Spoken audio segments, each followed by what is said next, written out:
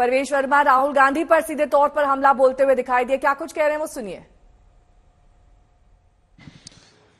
देखिए, राहुल गांधी जो है, एक तरफ़ तो प्यार की, क्या अपना मोहब्बत की दुकान की बात करता है और वहाँ पे दूसरी तरफ़ में पार्लियामेंट के अंदर में बंदर की तरह वहाँ पे वीडियो बना रहा है और वो उपराष्ट्रपति जी का मज़ाक उड़ा रहा है।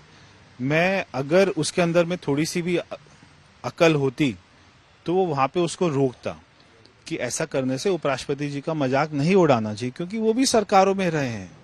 तो ऐसे अगर हम अपने, हमारे संविधान के पद पर इतने ऊँचे, अपना पद पर बैठे हुए व्यक्ति का मज़ाक उड़ाएँगे तो तो पूरे लोकतंत्र का मज़ाक है, पूरे देश का मज़ाक है।